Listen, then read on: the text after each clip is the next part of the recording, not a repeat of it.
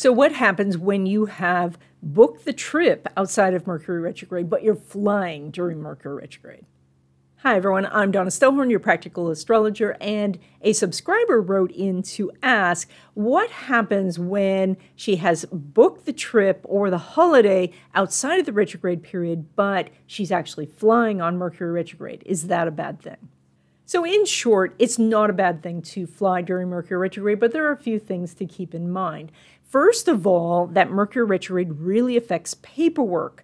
And so that means it, any sort of documents that you need for flying, such as your driver's license or your passport, it's really easy to forget these things or to uh, find last minute that they have expired. And so any sort of documents that you need, checking to make sure that you have the reservations and all that, that you, you know, that the confirmation is there, uh, even if that's online, that's still considered that sort of documents, sort of, you know, necessary paperwork. Check to make sure that you have all of those.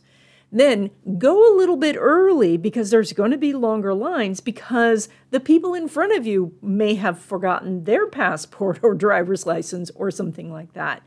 Also, things like parking can be more difficult during that time.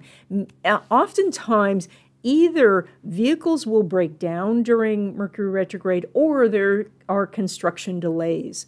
And so that can be a problem. Now, during Mercury retrograde, your luggage can go to Baltimore or some other city that you're not planning to go to.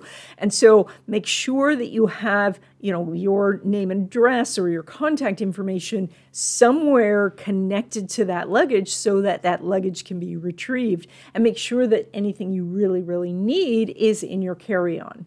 Now, there is a benefit to flying during Mercury retrograde, especially to a destination that you want to return to, because Mercury retrograde means that things can double. And that would mean that on a future retrograde, you would go again to this place. So, if you're booking a trip and you do need to fly during Mercury retrograde, hopefully it's to a destination you want to visit more than once. If you have a general question about astrology that uh, you want me to look at, you put it into the comments.